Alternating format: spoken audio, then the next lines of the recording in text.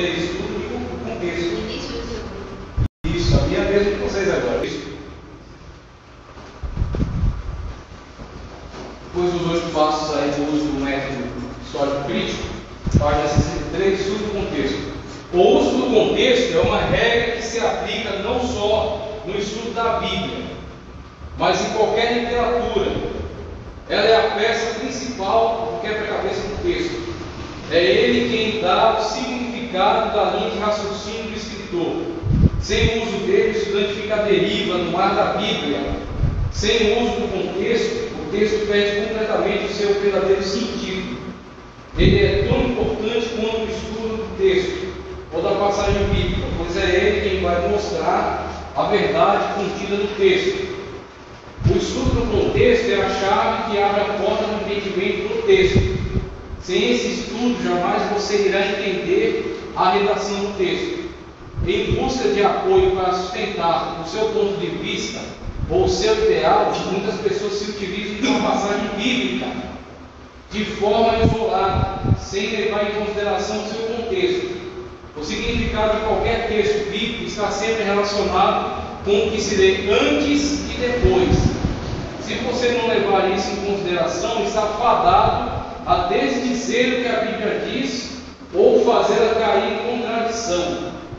Mas se ela for estudada cuidadosamente e com seriedade dentro da, dessa metodologia, nunca se contradiz. Veja só, hein? Veja a importância do que é essa parte aqui do estudo método histórico crítico, como a gente viu. Existe um mau uso do método histórico crítico por parte de uma teologia liberal, por parte da alta crítica textual, que lança um olhar é, de análise sobre a Bíblia, duvidando a priori da sua característica de sobrenatural, da sua característica de texto inspirado, teopneus, né? texto divinamente soprado, duvidando a priori de sua característica de texto divinamente inspirado. Então o que acontece? Pelo fato da teologia liberal, que acompanha a alta crítica, olhar dessa forma para a Bíblia as teses levantadas por eles já são fadadas ao engano, fadadas ao fracasso. Por quê? Porque eles não respeitam características fundamentais da Bíblia. Por exemplo, a Bíblia é um livro inspirado, inspirado por Deus. A Bíblia é um livro que manifesta o sobrenatural, ou seja, ela relata fatos sobrenaturais. Então, acerca de milagres, acerca de manifestação de Deus. Então, se alguém não crê nisso, obviamente a análise que ele vai fazer sobre a Bíblia está fadada ao fracasso. Será uma análise incorreta, uma vez que ele não crê nisso, uma vez que ele não é, tem essa concepção. Aí o que acontece? Fazendo a análise, a gente viu nos oito passos. Aqueles oito passos mostram estratégias para o uso do método histórico crítico. Do jeito que um, uma, um teólogo liberal faz uso desse método, com a forma dele distorcida de olhar para o texto, um teólogo conservador, um teólogo ortodoxo, também pode fazer uso desse método. O método histórico crítico não precisa ser jogado no lixo. Ele pode ser empregado, desde que empregado de uma forma correta. Aí o autor disse: vamos, vamos basear o nosso uso do método histórico crítico em dois fundamentos: o fundamento da fé e da razão.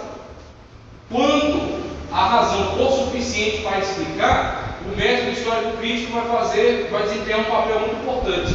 Por exemplo, ele vai analisar o texto original, o que o texto original diz, quais são os significados atribuídos às palavras. Ele vai analisar o momento cultural, o momento histórico em que foi escrito, em que momento da história esse texto foi escrito, qual era a situação. Ele vai analisar características do autor, quem é o autor desse texto, se é que nós podemos encontrar um autor. Como, por exemplo, a carta, de, a carta aos Hebreus. Quem é o autor? Não é sabido. Então, essa, isso não vai poder ser avaliado.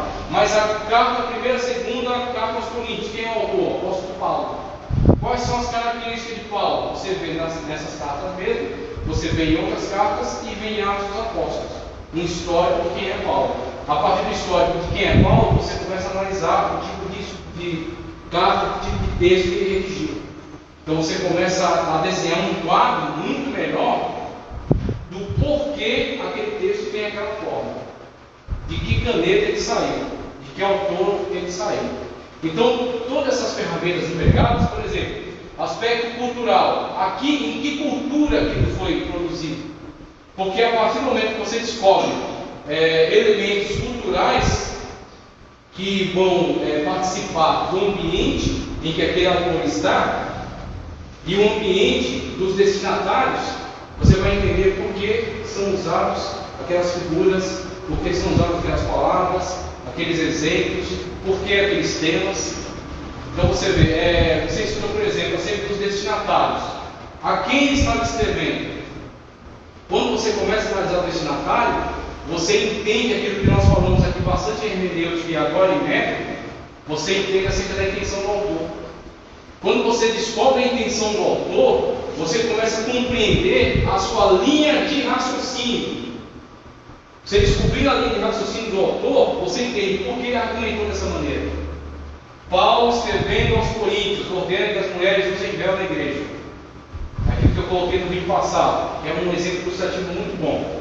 Então, tem, olha só o método histórico crítico, o que, que ele faz para você? Ele diz para você que Paulo é uma pessoa zelosa da lei. E Paulo, depois que veio para a graça, ele se torna uma pessoa zelosa da igreja, da moral da igreja, da ordem da igreja. Então o que acontece? Quando você, pelo método histórico crítico, você estuda a cultura, você entende que o contexto cultural dos destinatários incluíam códigos morais que diziam que a mulher, para ser honesta, ser honrada, deveria usar o véu. Como sinal de senhorio, como é dito, aliás. Aí você, através do método crítico, descobre isso é um contexto, é um código moral daquela cultura. Então, logo, se é um código moral da cultura dos destinatários da carta de Paulo aos Coríntios, esse não é necessariamente o código moral da nossa cultura. Nossa cultura tem outros códigos morais que dizem o que é honesto e o que não é honesto, o que é honrado e o que não é honrado. E a questão do véu nem está incluída, porque não é hábito na nossa sociedade o uso do véu. Então, logo, você primeiro descobre qual é a intenção do autor. Escrever uma carta para ensinar aqueles irmãos, para é, incentivá-los a adotar uma postura moral adequada, decência, ordem e decência. Aí o que acontece? Você descobre, através desse método crítico, que alguns aspectos dessa, desse texto que Paulo escreveu estão direcionados diretamente àquela, àquela sociedade, àquela cultura, com seus códigos morais, com seus padrões. Mas não necessariamente aqueles códigos morais, aqueles padrões fazem parte da nossa sociedade. Então, o que, que a hermenêutica vai fazer com você? Contextualização. O que, que vem a ser a contextualização? Eu vou entender qual é a intenção do autor. Eu entendo a intenção do autor ao escrever aquela carta aos Coríntios e ao ordenar que eles tomem essa aquela atitude. A intenção dele era trazer um alto padrão de conduta moral. Se a intenção de Paulo era trazer um alto padrão de cultura moral para os coríntios, a partir dos seus códigos culturais daquela sociedade, daquela época, eu tenho que contextualizar a mensagem de Paulo daquela época, daquela cultura, daquela sociedade, para a nossa época, a nossa cultura e a nossa sociedade, e descobrir na nossa cultura o que é um código padrão moral alto. E dizer, da mesma forma como Paulo zelou, zelou pela moral na igreja dos Coríntios, nós temos que zelar pela moral aqui na nossa cultura. O que não é necessariamente incluir o véu, mas sim incluir aquilo que seja um código moral alto, padrão alto de moral. Tá certo? Então você vê, esse exercício que vocês fazem, através desse método, método histórico crítico, torna os senhores e a senhora pessoas pensantes. Se você não, não pratica isso, você não domina esse tipo de método, você simplesmente lê e, a, e vai pelo caminho do literalismo. A Bíblia ao pé da letra. Aí Paulo já deu aviso, a letra mata. Mas o Espírito, então existe um Espírito na letra que é atemporal.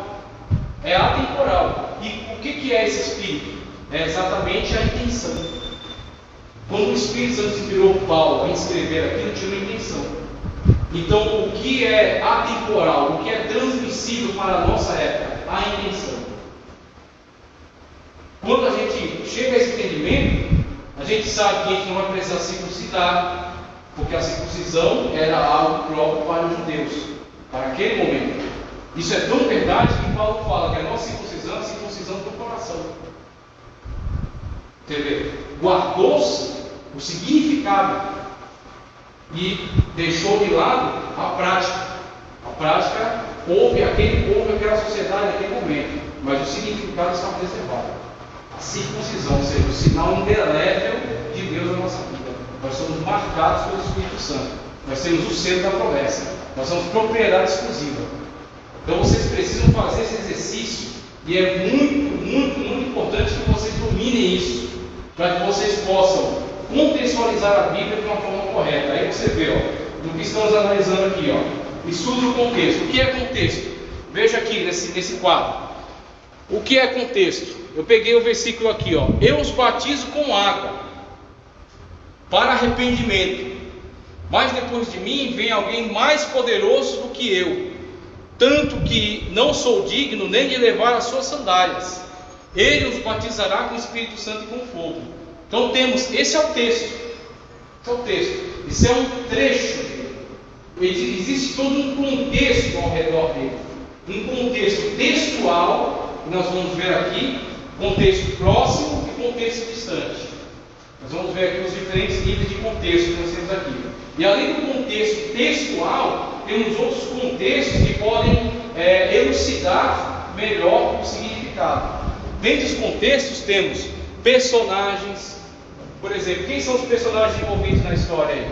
Na narrativa? Jesus e João Batista. Jesus e João Batista. Quando você analisa sobre Jesus e João Batista, você pode mesclar com essa passagem outros trechos bíblicos que falam profeticamente acerca de Jesus e acerca de João Batista. Zacarias profetizou acerca de João Batista, dizendo que enviará o seu anjo, o anjo do Messias é, Isaías profetizou acerca de João Batista, dizendo que ele irá adiante proclamar, né, endireitar as veredas, aplainar os caminhos. Vai falar. O Júlio seria João Batista batizando Jesus. É. Ele batizaria de arrependimento de pecados. Sim, o batismo é Que pecado de Jesus? O batismo, presta atenção, só um minuto. O batismo, em geral, é de arrependimento de pecados. No geral, no geral. Ele não é digno de batizar Jesus, porque quem tem que batizar é ele. Porque ele sabia da característica do Messias. O que, que o Messias responde? Deixa assim para que se cumpra toda a justiça. Então o batismo de Jesus não tem a mesma característica do nosso batismo. Nosso batismo é para arrependimento do pecado. O batismo de Jesus é só para cumprimento da justiça. Ah, o texto, né? Dos fragmentos de texto mais antigos que relatam acerca dessa passagem. Então temos os fragmentos de texto mais antigos sobre Mateus, né, do Evangelho de Mateus. Com isso, eu estou instigando vocês a o quê? Buscar mais informações nas línguas originais, no caso aqui o grego. Então fazer um estudo, por exemplo, do texto grego com relação ao que ele diz em relação a esta passagem aqui. Quais são as palavras no contexto original? É uma possibilidade. É uma possibilidade. Estudo da topografia do lugar, por isso que eu coloquei esta imagem aqui. Você pode estudar que lugar foi, né? Que ambiente, como era o ambiente. Tudo isso vai construir o contexto em volta do texto. Você pode estudar, por exemplo, mais acerca do personagem João Batista. Né? Nós temos aí que ele pregava e pregava é, com ousadia, ele pregava de uma forma bastante dura. Né? Ele chamava os fariseus de raça de víboras e dizia: Quem vos ensinou a fugir da ira divina? E aí, ele, nessa pregação, muitos vieram até ele para se batizar. Então, o que acontece? Dentre as características do ministério dele, estava esse ministério de acusar, acusação direta, né? apontar o pecado, mostrar. Né? Então, o que acontece? Quando Cristo se manifestou, este que já estava fazendo é, esse trabalho de aplanar o caminho, de abrir o caminho para o Messias, o precursor do Messias, é ele mesmo quem aponta o Messias. Eis aí o Cordeiro de Deus que tira o pecado do mundo. Então, quer dizer, vemos aí, dentro desse contexto, desse texto aqui que a gente acabou de ler, que João Batista batiza Cristo nas águas do Rio Jordão, temos todo um contexto em volta dele que preenche o quadro. que dá a você um entendimento muito mais claro. Por exemplo, você pode entender acerca da importância que isso teve no contexto, o impacto que isso teve na sociedade da época. Muitos dos discípulos de João Batista, pessoas que já estavam gerando uma grande expectativa em relação a João Batista, a partir desse momento passaram a seguir Cristo Jesus. Passaram a ser seguidores de Cristo. Outros continuaram sendo seguidores de João Batista. De tal forma que João, no evangelho dele, que de acordo com a tradição foi o último a ser escrito, João, em alguns trechos, ele escreve aquilo endereçado aos discípulos de João Batista, colocando narrativas de João Batista, testemunhos dele, dizendo claramente: Eu não sou o Cristo, apontando Jesus como o Cordeiro de Deus que tira o pecado do mundo. Então, quer dizer, olha as consequências que tem em volta desse texto para você compreender o peso que ele tem, a importância que ele tem. Se você só passa lendo rapidamente, você não vê nada. Não vê nada. Você pensa que aquilo é um pequeno texto que não tem qualquer significado. Agora, quando você preenche todos esses contextos aqui em volta dele, aquilo que amplia o quadro, você percebe qual é a importância que ele tem e qual é o impacto que ele gera. E aí você passa a respeitar o texto dentro de toda a sua importância e o seu significado. Aí temos, por exemplo, geografia, né, aspecto geográfico do texto. Então tudo isso aí completa o quadro. Se você faz uma análise textual, levando em consideração todos esses aspectos do contexto, você tem um entendimento muito mais avançado. Você tem, se apropria do texto de verdade. Você começa a entender por que os personagens agiram daquela maneira. Porque eles disseram o que disseram, porque eles agiram como agiram. Você começa a entrar no mundo do personagem. Quanto mais você adentrar no mundo do personagem, mais próximo você está da intenção do autor. Que é a grande busca do entender. A intenção do autor.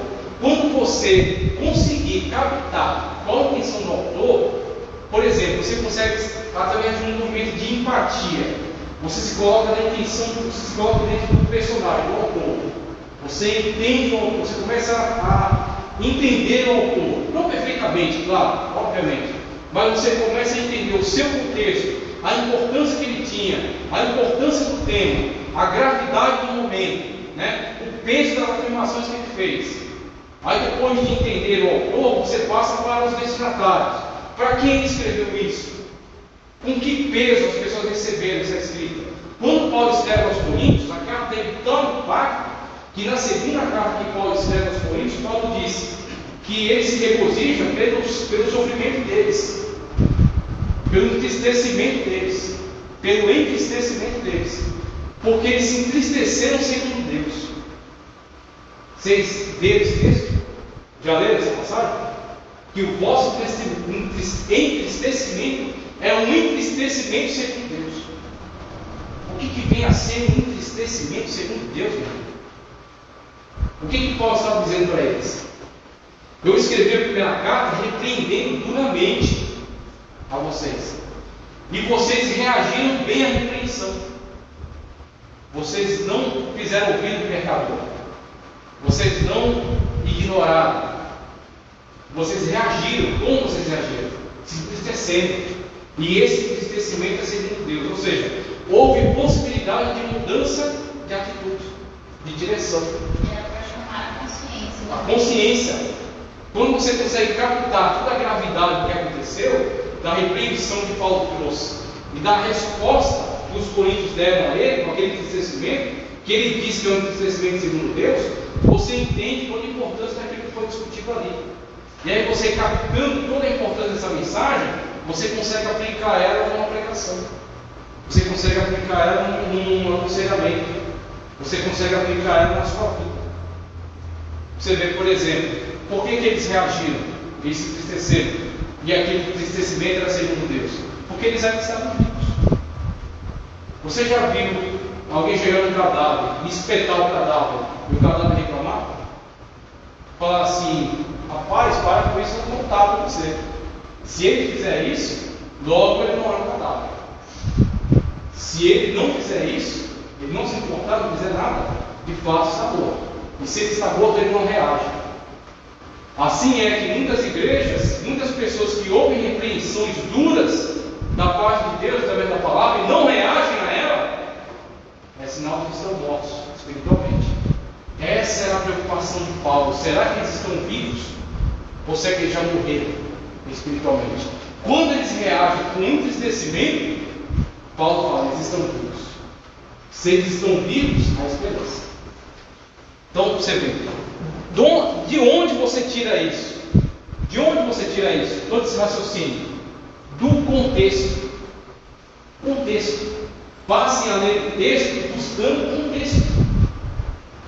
Entender o autor, entender o momento histórico, entender a cultura, ler um pouco mais acerca daquele povo, ler um pouco mais acerca daquele momento histórico, ler o texto várias vezes, ler o texto e se atentar àquilo que diz o texto que vem antes, aquilo, o texto que está depois, para você entender a sequência textual que aquilo tem, e aí você conseguir entender o contexto. Onde encontramos o contexto? O que é contexto eu acabei de dizer. Onde encontramos o contexto? Via de regra, o contexto é encontrado antes ou depois do texto, isso é, é o que se chama, é, é o que se chama de contexto imediato. Ele está nos dois ou três versículos que antecedem e nos dois ou três versículos que sucedem, mas nem sempre isso ocorre. Veja só esse texto aqui, ó.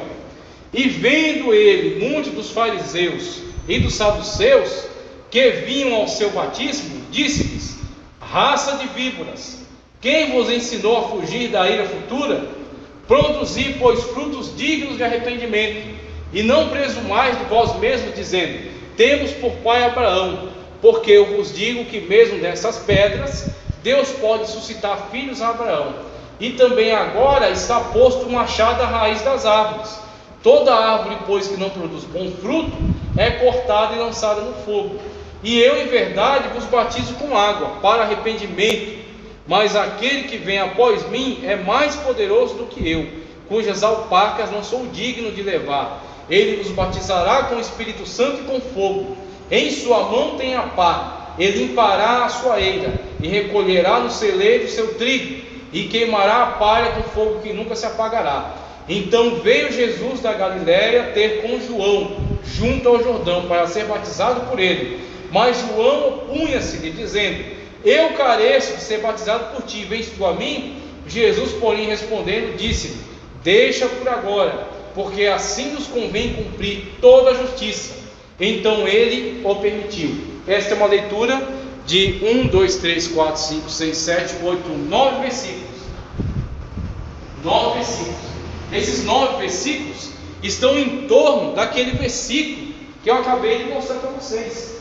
Aqui, ó. Esse versículo aqui, ó. Esse versículo que pode ser preenchido com todas essas, todas essas análises contextuais, tá? Acerca dos personagens, texto original, ambiente, é, estudo acerca do personagem principal do texto, geografia do lugar, e além disso, a própria análise textual do contexto próximo. Então, aquele versículo está aqui, ó, contexto próximo. Então, se eu ler para vocês, e eu em verdade vos batizo com água para arrependimento, mas aquele que vem após mim é mais poderoso do que eu, cujas alpacas não sou digno de levar. Ele vos batizará com o Espírito Santo e com fogo. Tudo bem, isso é uma informação. Isso é uma informação. Só que é uma informação incompleta. Existe um quadro muito mais amplo em torno dessa informação. Então é aí onde mora o problema das heresias. Quando chega um irmãozinho com um versículo dizendo que descobriu uma doutrina extraordinária que vai mudar a igreja, vai revolucionar a igreja, isso é ridículo. E você está sendo capacitado para ensiná-lo. Você está sendo capacitado para explicá-lo para alertá-lo de que o texto bíblico, primeiro, capítulos e versículos são artificiais. O texto é bloco textual contínuo, que começa e termina, aquele bloco textual, conforme está nos documentos originais. Então, aqueles blocos textuais contínuos são texto e contexto. Tá? Então, esse pequeno fragmento de texto que eu li para vocês ele está inserido dentro de um contexto.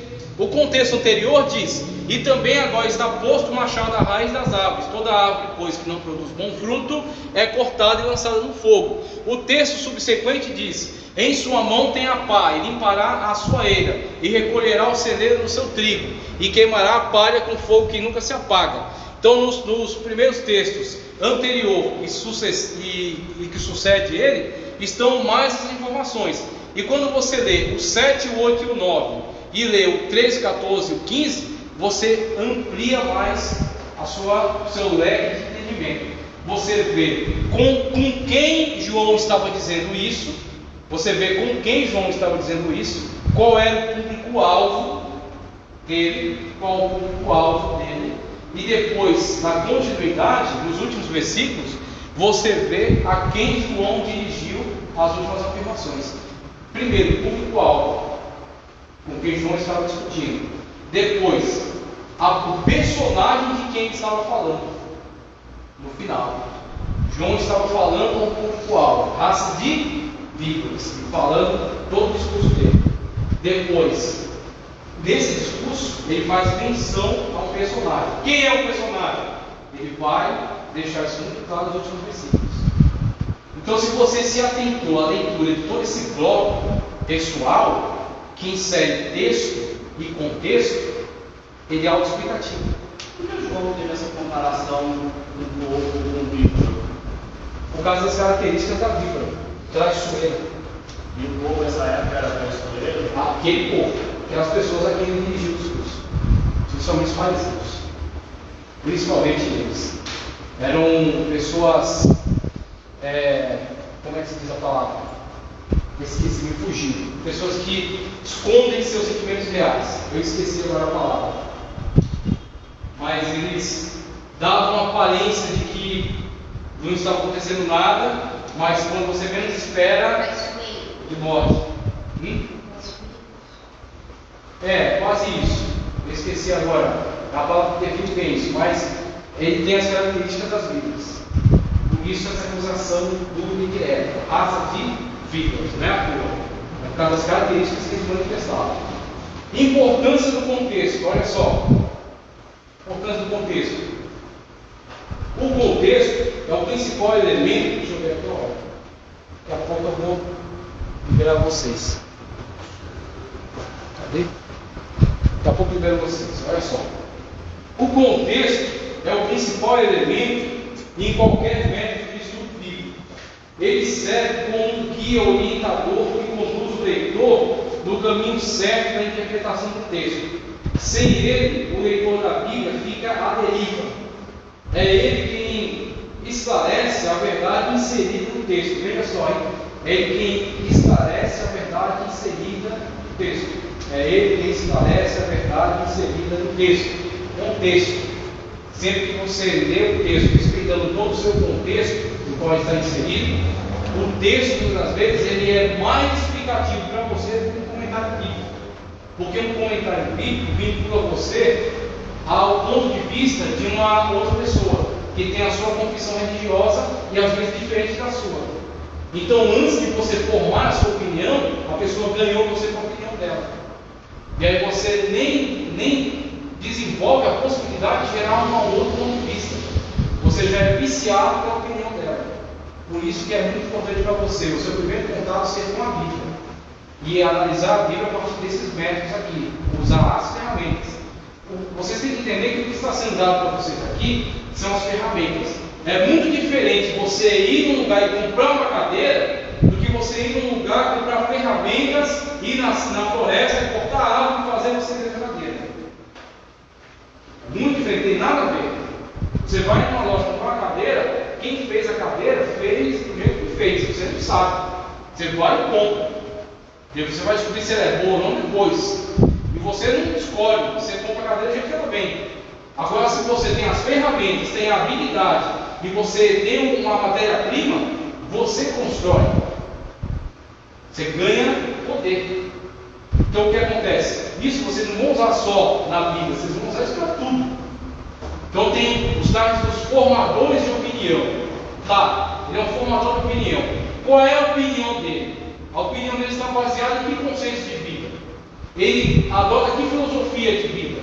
Ele é ateu? Ele é cristão? Se ele é cristão, ele é protestante, ele é católico? Se ele é protestante, ele é pentecostal, ele é reformado? Veja as opções. Ele é marxista, darwinista? O que, que ele é? Essa opinião que ele está dando aí está incluída do quê? O que formou essa opinião? Quais são os pressupostos fundamentais dele? Então o que acontece? Tem gente que anda só por valor de opinião. Ele compra opinião de A, B, C, D, e aqui olho, ele anda pela cabeça dos outros. Agora tem outros que não, eles querem saber o que, que ele estudou, o que, que ele leu para ele ter essa opinião. Eu vou ler o que ele leu para saber se eu chego à mesma conclusão. E às vezes você lê o que ele leu, mas como você tem outros pressupostos, você fala, não, esse camarada, ele não está correto. Ele omitiu opiniões, ele distorceu, ele não se pronunciou com relação a isso aqui. Aí você tem a sua opinião. E a sua opinião foi construída por você, com a habilidade que você tem. Então, o método de estudo da Bíblia é isso, dá você a ferramenta para que você mesmo construa o seu conhecimento bíblico, vinculado ao método, não do jeito que você quiser, vinculado ao método, obedecendo o método, as regras. Olha só, o contexto é importante porque é a chave que abre a porta da compreensão da passagem bíblica. Ele pode ser comparado a uma obra de arte. Se olharmos somente para uma parte de um desenho, jamais iremos compreendê-lo. Será que isso é verdade? Veja aqui, vamos ver se isso é verdade. Eu vou fazer uma coisa ousada aqui. Vamos ver se é. Tá aí, última ceia. Depois a gente conversa. Olha aí, a última ceia. Agora, veja só, a partir daquela aquela pequena amostra que você tinha ali, era difícil saber. Ele sabia. Ele com certeza viu bastante essa imagem aí. Agora, a partir daquela pequena amostra lá, era difícil saber. Por quê? Você tinha apenas um fragmento. Apenas um fragmento. Então, se você é, ler a Bíblia nessa perspectiva, o que acontece? Você não vai ter a compreensão correta. Você não vai ter a compreensão correta. Se você ler a Bíblia só olhando para um versículo, você vai incorrer em erro certamente. Porque aquele versículo, um versículo para começar, não é nada. Porque os versículos não existem. Os capítulos não existem. Os versículos não existem. São, são instrumentos artificiais inseridos para a facilitação da consulta. Foram inseridos depois, não estão no texto original. Então o que acontece? Aquela divisão chamada versículo é uma divisão artificial. Então o que interessa não é o versículo, o que interessa é a ideia. E aquela ideia é construída pelo fragmento juntamente com as suas partes. Veja aqui. As partes constroem o quadro. Tá certo? Então você tem um fragmento, um pequeno fragmento, que é uma amostra dele. É uma pequena ideia, um recorte dele. Para você ter um entendimento do quadro, você precisa preencher todo o espaço. Você precisa, para entender um versículo, precisa ler todo o contexto. Para você construir a ideia. Quando você construir a ideia, aí você tem acesso à doutrina. Tá certo? A doutrina está dentro do contexto, do contexto geral. Veja só a importância do contexto, passando agora exemplo de contexto próximo. Contexto próximo. Bom, daqui a pouco, no intervalo. Contexto próximo. É o que chamamos de contexto imediato.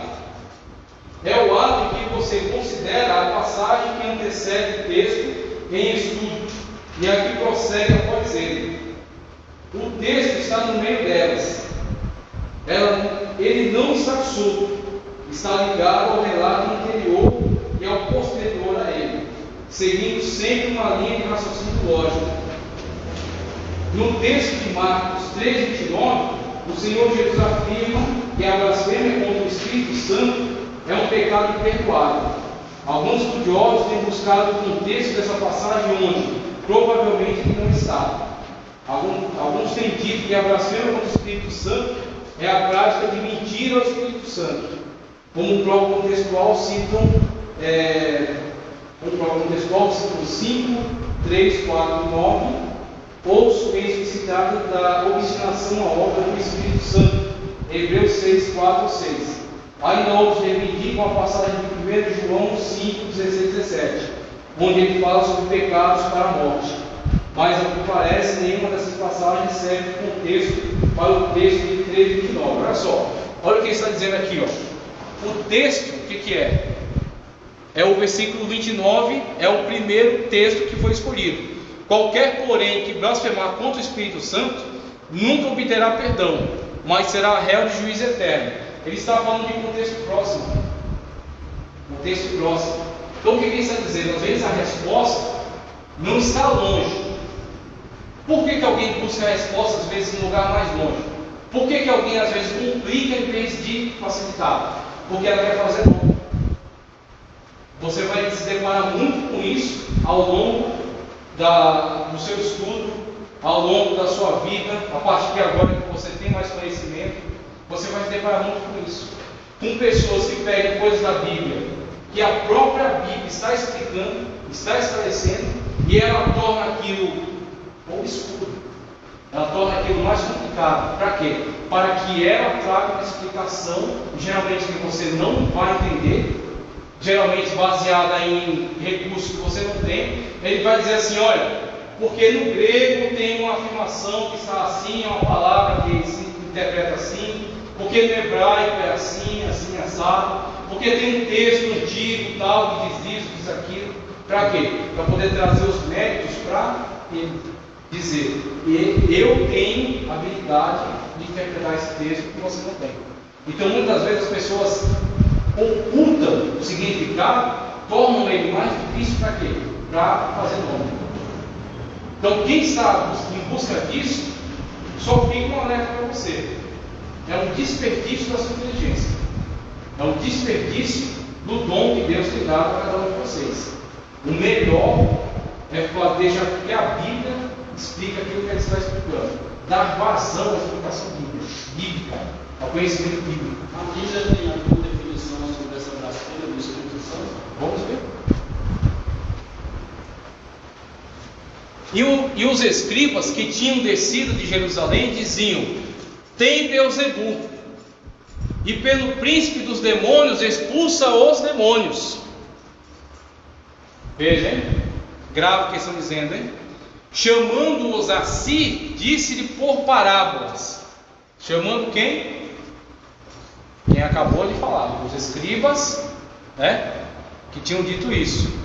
Chamando-os a si, disse-lhes por parábolas: Como poderá Satanás expulsar Satanás? E se um reino se dividir contra si mesmo, tal reino não pode subsistir. E se uma casa se dividir contra si mesma, tal casa não pode subsistir. E se Satanás se levantar contra si mesmo e for dividido, não pode subsistir. Antes tem fim. Ninguém pode roubar os bens do valente, entrando em sua casa, sem primeiro não manietar o valente, e então roubará sua casa. Na verdade vos digo que os na verdade vos digo que todos os pecados serão perdoados aos filhos dos homens, e toda a sorte de blasfêmias com que blasfemarem. Qualquer, porém, que blasfemar contra o Espírito Santo, nunca obterá perdão, mas será réu de juízo eterno. Ele diz. Então ele fala: olha, isso que vocês estão afirmando, para começo de conversa, é ilógico. Jesus discutiu nesse nível com eles, com os escribas. Para começo de conversa, é ilógico. Como pode, ao expulsar demônios, ao curar enfermos, ao dar vista aos cegos, né? ao libertar pessoas cativas pelo demônio. Como pode eu estar agindo pelo poder do demônio? Porque é isso que eles disseram. É o Beuzebu que ele expulsa Beuzebu. Então quer dizer, a lógica está completamente equivocada. Como pode Satanás estar contra? Se o reino de Satanás está sendo destruído aqui nessas ações que eu estou fazendo, como pode isso ser obra de Satanás? Satanás, se a casa está, está dividida contra si mesmo, não subsistirá. Então, logo, se Satanás expulsa Satanás, o que acontecerá com seu reino? Então, primeiro, ele traz eles para dentro da razão, da lógica. Você vê que a razão não é um instrumento que se deve jogar fora. Jesus trabalhou com eles com a razão. Não foi revelação divina, uma luz do céu apareceu e uma revelação veio. Não, foi razão. Simplesmente argumentos lógicos. Então argumentou na lógica com eles. Depois que argumentou na lógica, deu o aviso. Falou, olha, toda blasfêmia, todo pecado se perdoará ao homem. Por quê? O sangue de Cristo nos perdoa de todos os pecados. Então é possível um perdão a qualquer pecado. É possível anistia a qualquer pecado, a qualquer crime. Mas se blasfemar do Espírito Santo, não terá. Então, dentro da lógica que acabou de ser desenvolvida aqui, o que é a blasfêmia com o Espírito Santo? É você atentar contra uma obra que é claramente uma obra do Espírito Santo, como as obras que Jesus estava realizando, expulsando demônios, curando enfermos, ressuscitando mortos, era claro, era evidente que era o Espírito Santo. Não havia quem pudesse contrariar isso, porque a própria Bíblia havia profetizado isso. A própria Bíblia havia afirmado isso. E ele estava exatamente de acordo com o que a Bíblia Sagrada havia, havia previsto. Então é uma obra inegavelmente do Espírito Santo. Então a blasfêmia do Espírito Santo é atentar contra uma obra que é claramente uma obra do Espírito Santo, dizendo que atribuindo ela a uma obra do demônio. Precisa haver clareza. Clareza. Houve clareza? É uma obra do Espírito Santo. O Espírito Santo que operou isso. Se você, a partir desse momento, atribuir essa obra ao demônio, a responsabilidade é sua. Aí o que acontece? Você fecha a sua porta ao arrependimento. Por quê? Ao Espírito Santo de Deus, quem convence o homem do pecado, da justiça do juízo. Se você bloqueia o acesso do Espírito Santo à sua vida, através desse tipo de ato, desse tipo de afirmação, você está condenado. Não precisa nem chegar ao inferno, você já está condenado. Mas essa condenação é para o inferno? Essa condenação é eterna aqui, ó. Nunca obterá perdão, mas será réu de juízo eterno. E sequência, sequência, sequência que eu quero liberar vocês lá para o intervalo. 94. Pode deixar os irmãos como operação do Espírito ou não. Sim. Tem coisas confusas. Se o cara não tem certeza, a gente fala que o coração com o Espírito Santo. Certo? Não tem misericórdia. Aí eu levo você a outra palavra que Paulo diz, por exemplo, que nós temos que julgar as profecias. Julgar as profecias. Foi muito bom, mas foi muito bom essa pergunta. julgamento, então. Como que você julga a profecia? Então, julga Deus, não aconteceu. Aí o que acontece? É um juízo. Só que é um juízo futuro. Se ela vai acontecer ou não. Aí o camarada diz para você, daqui a 10 anos você vai conseguir um, que nem falaram para mim. Fala, digo isso aqui porque falaram para mim. Daqui a 10 anos você vai ter um carro, vai ter um Vectra na garagem. Vai ter uma casa, um apartamento seu e vai ter um Vectra na garagem. Como é que eu julgo essa profecia? É o que você falou, o tempo, né? O tempo vai dizer. Outro tipo de, outro tipo de julgamento da profecia. contradica a palavra. Exatamente. Porque essa aqui é a profecia magna, é a palavra. Então, se a profecia não contrariou nenhum trecho da palavra, já tem um ponto. Aí é aquilo que você falou, vai acontecer ou não, é coisa para o futuro. Aí tem, Paulo falou, julgar as profecias. Julgar a profecia baseada na palavra. Profecia contrariou a palavra, numa vírgula, acabou. Não é de Deus, Deus se contradiz. Por exemplo, se eu aparecesse assim uma pessoa aí, o Espírito Santo falasse para ela, casa com aquela prostituta, não vou ficar. E aí? Como é que eu vou julgar da fora da palavra? Aí o que acontece? Deus, do jeito que Deus fala do profeta, Deus fala com você. Não é proibido fazer prova com Deus. Mesmo diz para fazer prova dele. Então, melhor a gente não. Você vê quando- quando o diabo- Quando o diabo argumentou com Cristo, ele falou assim: transforma essa pedra em pão. O que, que ele respondeu? E onde é que estava isso? Na palavra.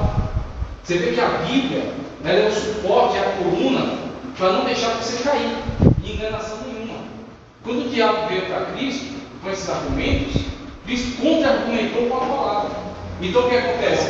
Se vier uma profecia dessa para você, Nem todo mundo tem conhecimento da palavra, não da palavra. a sua fundamentação é a palavra. Se não tem conhecimento da palavra, é sério, vai ser enganado. No total, é impossível você conhecer a palavra no total. Por que, que tem essa multidão de pessoas enganadas no Evangelho? Porque não conhece. Eu tenho dificuldade de me guardar aquele versículo. Sim. Você vai se lembrando desse, mas não lugar, não consigo. É, mas também eu acredito que mesmo que você não tenha decorado ela nos É, livros de na hora- Apocalipse, Deus também não vai deixar a gente enganado, porque a gente Isso. não decorou a Bíblia do Gênesis da Exato. E eu falei sobre isso, mas não. Agora, faz lembrar. faz lembrar e tem outra coisa, tem que ter comunhão com Deus. É. É, Quem não tem comunhão com Deus, quem não tem conhecimento bíblico, está correndo um sério risco. É facilmente enganado. Facilmente, facilmente, facilmente enganado. E está cheio de enganador aí para isso mesmo. Então, não tem condição. Se eu não tem conhecimento bíblico, é sério. Mas se eu não tenho espiritualidade, não tenho comunhão com Deus, é morto. Então você faz com morto, você Não, faz com é, zero. esse daí vai para o tempo. Exatamente, ela, ela às vezes é crente só de carteirinha. Ela tem um cartão. E às vezes tem cartão de diversas coisas. Tem um marronzinho às vezes, né? Não é marronzinho? Ok. Pois é, às vezes tem um marronzinho, um cartão marrom, mas só tem um cartão. Mas eu tenho uma mãozinha, mas tô bem. É crente? Amém, graças a Deus. Eu tenho um pepino. Eu vou chegar lá. Olha só, contexto distante. Você vai falar lá no né? Meu Céu, recebo. Contexto distante. Trata-se daquelas passagens que fluem em uma mesma linha de raciocínio. Exemplo, Daniel 12, 2. Lemos. E muitos que dormem no pó da terra ressuscitarão, uns para a vida eterna e outros para a vergonha e desprezo eterno. Em João 5, 28 e 29, o Senhor Jesus disse: Os que fizeram o bem sairão para a ressurreição da vida, e os que fizeram o mal para a ressurreição da condenação. Se parássemos por aqui, entenderíamos que a ressurreição dos justos e dos injustos ocorreria simultaneamente, no mesmo período. Quando lemos 1 Coríntios 15, 22, a trombeta soará e os mortos incorruptíveis e nós seremos transformados. Em 1 Tessalonicenses 4,16 Os que morreram em Cristo ressuscitarão primeiro. Veremos que os que morreram em Cristo, os salvos, ressuscitarão primeiro. Mas primeiro de quem? Dos que morreram em Cristo, é, conforme o ponto final aqui, dos que morreram em Cristo. Eles estão inseridos no texto de forma de objeto oculto. Só pode ser visto por inferência. Veja só. Acabamos de estudar o texto próximo. Tá? Texto próximo. Isso aqui é o texto próximo. O versículo 29 estava ali, ó, tinha um incógnito, uma dúvida. Que blasfêmia é essa? Aí tem gente que jogou lá para frente, para Hebreus, não sei o quê. A gente viu, não, meu amigo, está aqui, ó. Próximo, contexto próximo explica, o texto é autoexplicativo. Tem que deixar a Bíblia falar por si mesmo. Tem que deixar a Bíblia se auto-explicar. Só depois disso aí é que você vai para dicionários. Aí que você vai para comentário bíblico. Agora veja, contexto distante. Um texto, um texto que traz uma informação, pode ser elucidado, pode ser esclarecido por outros textos que estão na mesma linha de raciocínio. Entenda isso. Você tem que começar a analisar o texto que você está lendo e entender qual é a linha de raciocínio daquele texto. Para você poder associar aquele texto com outro texto distante, mas que está abordando o mesmo assunto. Está abordando o mesmo assunto. Por isso que os ortodoxos, por isso que os conservadores batem nessa tecla que é a nossa posição, por isso que a gente bate nessa tecla dizendo a Bíblia é inerrante, a Bíblia é completamente inspirada. A Bíblia, apesar de ter 40 autores humanos, ela tem só um inspirador, porque ela tem uma linha mestra de entendimento ao longo de toda a sua história, ao longo de todo o seu texto. O contexto distante mostra isso. Um autor, Daniel, que viveu aí, pelo menos, pelo menos, não vou me recordar direito agora, pelo menos 500, 600 anos antes de Cristo. Viveu na corte da Babilônia depois da Pérsia. Porque 445 foi quando houve o Éxodo para retornar. Então viveu um pouco antes disso. Entre 600 e pouco, 500 e pouco, antes de Cristo. Na corte da Pérsia, da Babilônia depois da Pérsia. Ele diz esse texto aqui, ó, Daniel 12, 2. E muitos dos que dormem no pó da terra ressuscitarão, uns para a vida eterna e outros para a vergonha e desprezo eterno. Pronto, Daniel disse isso. Aí depois de Daniel, a gente vai para João 5. O que que o apóstolo João, que viveu na Palestina, né, que é, viveu na época de Cristo, que se tornou um apóstolo, pregou o evangelho, conforme a tradição, morreu em Éfeso, no ano 100 da era cristã, foi o último apóstolo. O que que ele diz? No Evangelho de João, capítulo 5, versículo 28 e 29. Não vos, não vos maravilheis disto, porque vem a hora em que todos os que estão nos sepulcros ouvirão, e os que fizeram o bem sairão para a ressurreição da vida, e os que fizeram o mal para a ressurreição da condenação. Então João registrando as palavras de Cristo, colocou isso no Evangelho dele. Se você lesse só Daniel, depois desse só João, você entender que esses dois eventos são a mesma coisa ao mesmo momento. Eles tratam do mesmo assunto, mas eles estão em momentos cronológicos diferentes. Parece que os dois eventos vão acontecer no mesmo minuto. Os mortos ressuscitarão, os dois grupos, um para a condenação e outro para a ressurreição, e outro para a vida eterna. Dois estarão ao mesmo tempo. Se você ler só até aqui. Só que você não pode ler só até aqui, porque tem mais contexto que vai te explicar. E onde é que está a continuação do contexto? Está em 1 Coríntios 15, 52, que diz: Num momento, num abrir e fechar de olhos, ante a última trombeta, porque a trombeta soará, e os mortos ressuscitarão incorruptíveis, e nós seremos transformados. Pronto. Daniel falou que os mortos ressuscitarão. Jesus falou que os mortos ressuscitarão para a vida eterna e para a condenação eterna. Aí Paulo vai estar dizendo como ressuscitarão. Como ressuscitarão? Tocar da trombeta, ressurreição dos mortos, transformação de todos nós, partiremos para a vida eterna. Corpo glorioso e partiremos para a vida eterna. Não para por aí, siga em frente. 1 de Tessalonicenses, esqueci o capítulo, mas versículo 16, provavelmente o 2. Versículo 16: Porque o mesmo Senhor descerá do céu com alarido e com voz de arcanjo e com trombeta de Deus, e os que morreram em Cristo. Pronto, Paulo já deu uma informação preciosa, né? Já deu uma informação preciosa. Daniel falou que ressuscitarão. Jesus falou que estarão para condenação, para salvação. Paulo depois diz como ressuscitarão. E agora ele complementa: quem ressuscitará por ele? Aqueles em Cristo. Os justos do Antigo Testamento que morreram esperando pelo Messias. A promessa do Messias. E o, os salvos do Novo Testamento que estão em Cristo. Ressuscitarão primeiro. Então, você tem mais textos que vão fechar. Apocalipse 20, a partir do versículo 4, que diz: E vi tronos, e assentaram-se sobre eles, e foi-lhes dado o poder de julgar. E vi as almas daqueles que foram degolados pelo testemunho de Jesus e pela palavra de Deus, e que não adoraram a besta, nem a sua imagem, e não receberam o sinal em suas testas, nem em suas mãos, e viveram e reinaram com Cristo durante mil anos. Mas os outros mortos não reviveram, até que os mil anos se acabaram. Esta é a primeira ressurreição. Muito bem. Esta é a primeira ressurreição. Esse texto arrematou. Daniel disse: ressuscitarão, sairão do pó. Jesus disse: Olha, nós vamos sair do pó para a salvação, outros para a condenação. Quando Jesus diz isso, quando Jesus diz isso, já existe aí uma doutrina que se arrebenta daqueles que dizem que aqueles que morrem condenados perdem a consciência e vão ficar por ali, sem acontecer mais nada com eles. Já arrebenta com essa doutrina falsa, essa heresia. Né? Jesus fala: não, ressuscitarão uns para a salvação, uns para a condenação. Como é que você vai condenar uma pessoa que não tem mais memória, não tem mais consciência do seu pecado? Exatamente. Então, Jesus disse: ressuscitarão uns para a salvação, outros para a condenação. Paulo disse: ressuscitarão um corpo glorioso, um corpo antigo, será transformado. Depois ele diz: ante a última trombeta.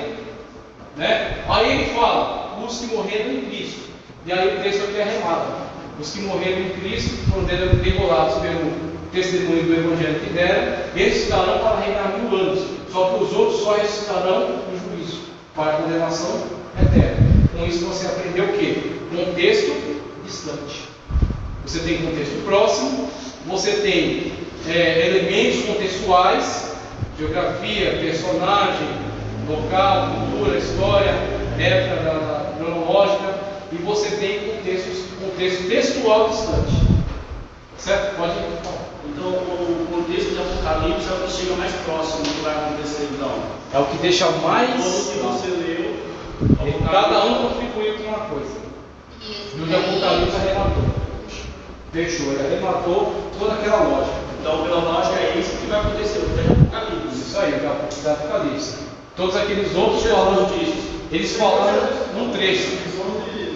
O que Jesus disse está incluído aqui. Eles ressuscitarão para a salvação e para a condenação.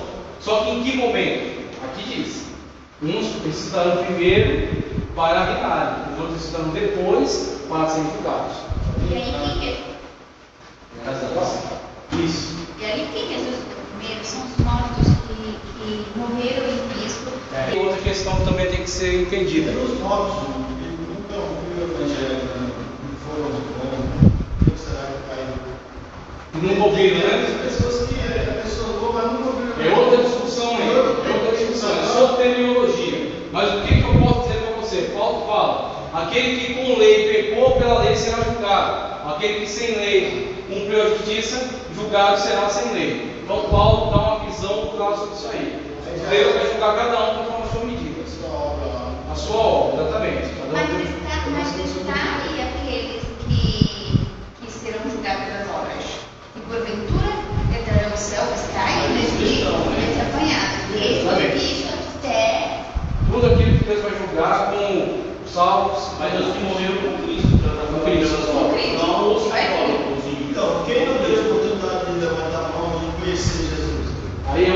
Por isso que